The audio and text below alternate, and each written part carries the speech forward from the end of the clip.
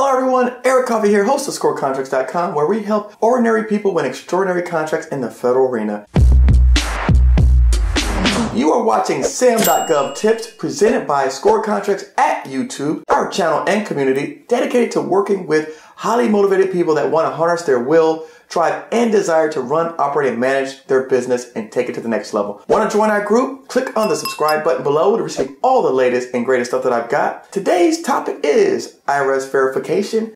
Now, I know some folks out there might owe the IRS a little something, something, but that's not the matter here. Sometimes when registering your company as a new company, you may receive a notice similar to this. It's the IRS TIN match validation failed for XYZ company and the US government system for award management. Uh-oh. So the first step is go back and make sure that your company name is spelled exactly like the SAM profile. Make sure that it's case sensitive just like as if it was a password. Most of the times the IRS will use all caps for your business name, so if you make that simple change, you'll eliminate this problem. The second step is, is to call the SAM help desk and ask for assistance.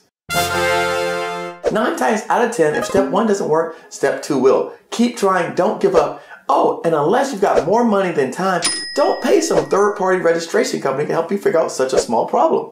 It's worth the fight. Keep up, let's go on. As always, thanks for watching. Stay tuned for upcoming lessons and tips. We'll see you next time.